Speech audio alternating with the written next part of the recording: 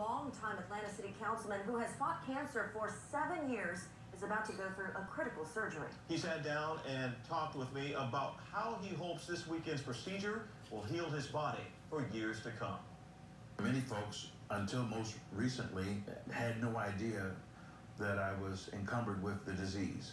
Atlanta City Councilman Ivory Lee Young is talking about cancer. His body has been fighting it since 2011. It's a form of bone cancer that affects um, the blood, and and what it does is it it erodes uh, the characteristics of your bones. He has suffered in silence, not talking about the cancer until recently. The disease uh, is incurable.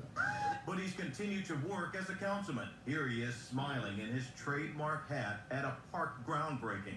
But on Labor Day, he'll undergo a stem cell transplant. He hopes it heals his body for decades. Enthusiastic and, and, and really confident in my faith of a, a great outcome.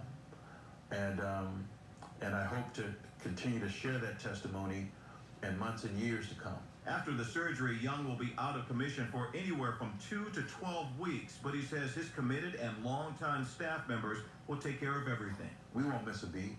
Uh, constituents that have a real concern, I would, I would ask they continue to call our office. And he says in no time, he'll be back. I'm very excited about uh, getting through this process, getting to the next season, and uh, getting back to work. One of the hardest working men at City Hall, Ivory Lee Young has been a councilman for almost two decades. He told me he's been in and out of remission since 2011, but he hopes this stem cell transplant will give him decades of healthy living with the cancer at bay.